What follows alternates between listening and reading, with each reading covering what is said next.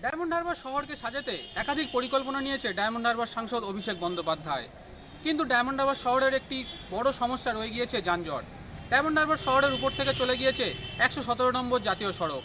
আর এই জাতীয় সড়কের একাধিক জায়গায় দেখা যেত বিভিন্ন সময়ে যানজট তৈরি হয়েছে, যার মূল কারণ ছিল অতিরিক্ত টোটোর দৌরাত্ম্য।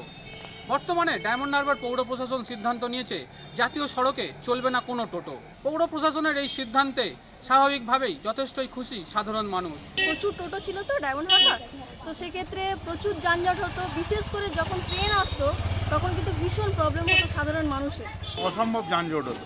একটা বাচ্চা নিয়ে স্কুল যাওয়ার পথে আধ ঘণ্টা আগে বেরোলে তবে গিয়ে স্কুলে টাইম মতো পৌঁছানো যেত দশ মিনিটের রাস্তা। এটা হওয়া দরকার ছিল আরও আগে।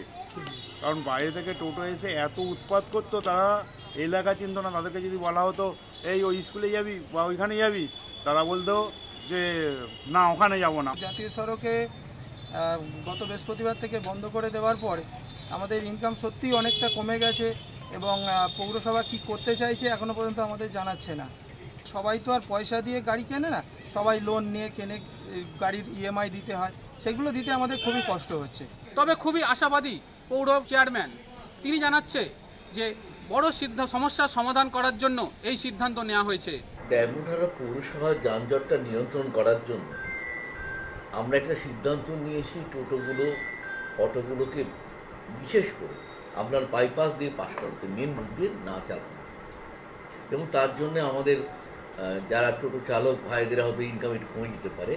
এবং আশা করি ওরা বাড়বে। আবার কথা বলি যখন বাইপাস দিয়ে চলাচল করবে আমরা তাই দিকে লক্ষ্য করে আমাদের মানুষ ভেঙে চলতে পারে, যানজটটা রোধ করার চেষ্টা। এখন দেখার এই সিদ্ধান্ত কতটা সুফল দেয় আগামী দিনে আমার শহর ডায়মন্ড হারবার থেকে জয়দীপ হালদার, কলকাতা টিভি